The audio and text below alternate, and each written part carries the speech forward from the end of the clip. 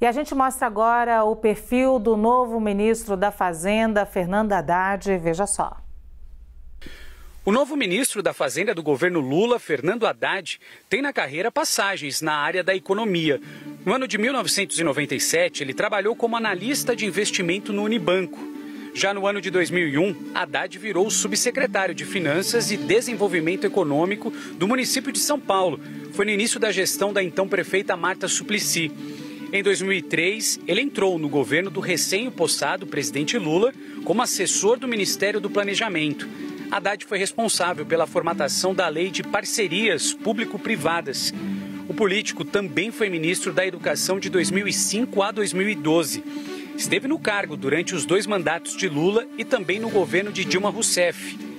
Fernando Haddad foi prefeito de São Paulo nos anos de 2013 a 2016. Em sua gestão, Haddad priorizou a mobilidade urbana, sancionou um novo plano diretor para a cidade e renegociou a dívida da administração municipal com a União.